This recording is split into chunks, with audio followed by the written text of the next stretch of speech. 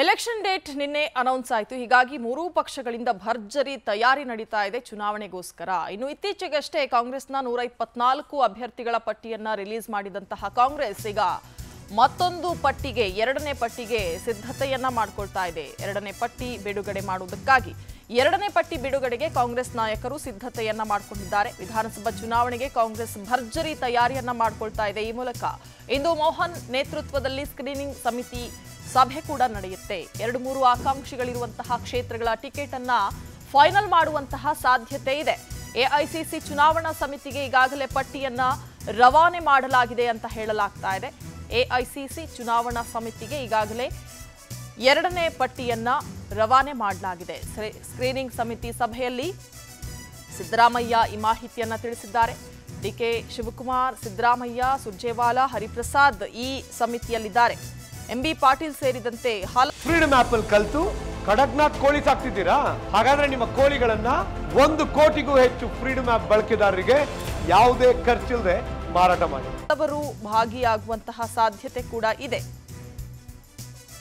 ಭರ್ಜರಿ ತಯಾರಿಯನ್ನ ಮಾಡಿಕೊಳ್ತಾ ಇರುವಂತದ್ದು ಕಾಂಗ್ರೆಸ್ ಪಕ್ಷ. ಮೂರೂ ಪಕ್ಷಗಳು ಕೂಡ ಚುನಾವಣೆ ಡೇಟ್ ಅನೌನ್ಸ್ ಆಗೋದನ್ನೇ ಕಾಯ್ತಾ ಇದ್ವು. ನಿನ್ನೆ ಚುನಾವಣೆ ಡೇಟ್ ಅನೌನ್ಸ್ ಆಗಿದ್ದೇ ತಡ. ಈಗ ಕಾಂಗ್ರೆಸ್ ಇತ್ತೀಚೆಗಷ್ಟೇ ನೂರ ಇಪ್ಪತ್ನಾಲ್ಕು ಮಂದಿಯ ಕಾಂಗ್ರೆಸ್ ಅಭ್ಯರ್ಥಿಗಳ ಪಟ್ಟಿಯನ್ನ ರಿಲೀಸ್ ಮಾಡಿತ್ತು. ಈಗ ಎರಡನೇ ಪಟ್ಟಿ ಬಿಡುಗಡೆಗೆ ಸಿದ್ಧತೆಯನ್ನ ಮಾಡಿಕೊಂಡಿದೆ.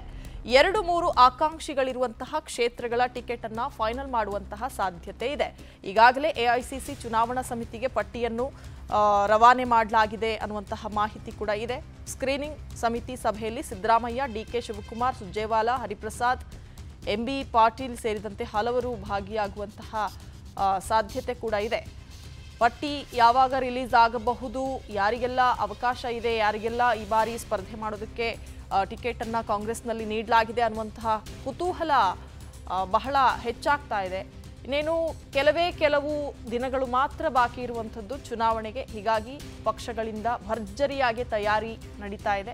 ಕಾಂಗ್ರೆಸ್ ಒಂದು ಹೆಜ್ಜೆ ಮುಂದೆ ಹೋಗಿ ಹೋಗಿ ಈಗಾಗಲೇ ಒಂದು ಪಟ್ಟಿಯನ್ನ ರಿಲೀಸ್ ಮಾಡಿರುವಂಥದ್ದು ಅಭ್ಯರ್ಥಿಗಳ ಪಟ್ಟಿ. ಈಗ ಮತ್ತೊಂದು ಎರಡನೇ ಪಟ್ಟಿಗೆ ಸಿದ್ಧತೆಯನ್ನ ಮಾಡ್ಕೊಳ್ತಾ ಇದೆ. ಇದರಲ್ಲಿ ಪ್ರಮುಖವಾಗಿ ಎರಡು ಮೂರು ಆಕಾಂಕ್ಷಿಗಳಿರುವಂತಹ ಕ್ಷೇತ್ರಗಳನ್ನ ಆಯ್ಕೆ ಮಾಡಿಕೊಂಡಿದೆ ಕಾಂಗ್ರೆಸ್.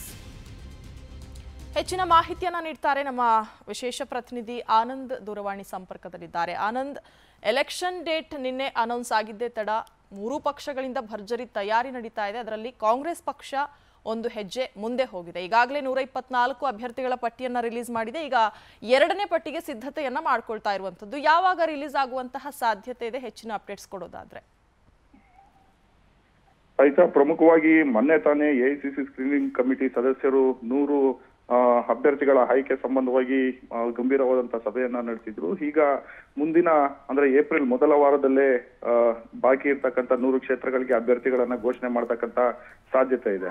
ಪ್ರಮುಖವಾಗಿ ಕೆಲವೊಂದು ಕ್ಷೇತ್ರಗಳಿಗೆ ಬಹಳಷ್ಟು ಆಕಾಂಕ್ಷಿಗಳು ಇರ್ತಕ್ಕಂತ ಒಂದು ಹಿನ್ನೆಲೆಯಲ್ಲಿ ಮೂರು ಹಂತದಲ್ಲಿ ಅಭ್ಯರ್ಥಿಗಳನ್ನ ಆಯ್ಕೆ ಮಾಡೋದಕ್ಕೆ ಸ್ಕ್ರೀನಿಂಗ್ ಕಮಿಟಿ ತೀರ್ಮಾನ ಮಾಡಿರ್ತಕ್ಕಂಥದ್ದು.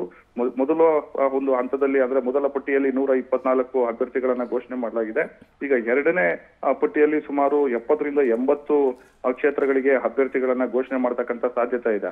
ತದನಂತರ ಅಂದ್ರೆ ಇನ್ನೊಂದು ಎರಡು ವಾರ ನಂತರ ಮೂರನೇ ಪಟ್ಟಿ, ಅಂದ್ರೆ ಬಾಕಿ ಇರತಕ್ಕಂತ ಒಂದು ಇಪ್ಪತ್ತರಿಂದ ಇಪ್ಪತ್ತೈದು ಕ್ಷೇತ್ರಗಳಿಗೆ ಅಭ್ಯರ್ಥಿಗಳನ್ನ ಘೋಷಣೆ ಮಾಡ್ತಕ್ಕಂತ ಸಾಧ್ಯತೆ ಇರ್ತಕ್ಕಂಥದ್ದು. ಒಟ್ಟಿನಲ್ಲಿ ನೂರ ಇಪ್ಪತ್ನಾಲ್ಕು ಅಭ್ಯರ್ಥಿಗಳು ಏನಿದ್ರು ಕೈಪಟ್ಟಿಯಲ್ಲಿ ಅವರು ಯಾವುದೇ ಒಂದು ಸಮಸ್ಯೆ ಇಲ್ಲದೆ, ಗೊಂದಲ ಇಲ್ಲದೆ ಯಾರು ಕ್ಷೇತ್ರಗಳಲ್ಲಿ ಒಬ್ಬರೇ ಆಕಾಂಕ್ಷಿ ಇದ್ರು, ಅವರ ಹೆಸರುಗಳನ್ನ ಘೋಷಣೆ ಮಾಡಲಾಗಿರ್ತಕ್ಕಂಥದ್ದು. ಆದ್ರೆ ಈಗ ಬಾಕಿ ಇರ್ತಕ್ಕಂಥ ಕ್ಷೇತ್ರಗಳಿಗೆ ಬಹಳಷ್ಟು ಆಕಾಂಕ್ಷಿಗಳಿದ್ದಾರೆ.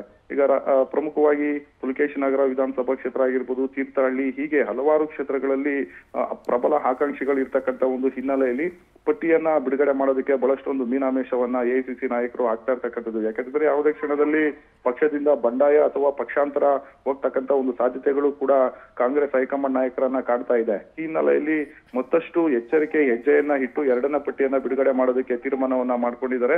ಮೇ ಇದೇ ಏಪ್ರಿಲ್ ಐದನೇ ತಾರೀಕು ಕೋಲಾರದಲ್ಲಿ ದೊಡ್ಡ ಮಟ್ಟದ ಒಂದು ಸತ್ಯಮೇವ ಜಯಿತ ಸಮಾವೇಶವನ್ನ ಹಮ್ಮಿಕೊಳ್ಳಾಗಿರ್ತಕ್ಕಂಥದ್ದು ಆ ಸಮಾವೇಶದ ವೇಳೆ ಅಂದ್ರೆ ಏಪ್ರಿಲ್ ಮೊದಲ ವಾರ ಮೂರನೇ ತಾರೀಕು ಅಥವಾ ನಾಲ್ಕನೇ ತಾರೀಕು ಎರಡನೇ ಪಟ್ಟಿ ರಿಲೀಸ್ ಮಾಡ್ತಕ್ಕಂಥ ಸಾಧ್ಯತೆ ಇದೆ.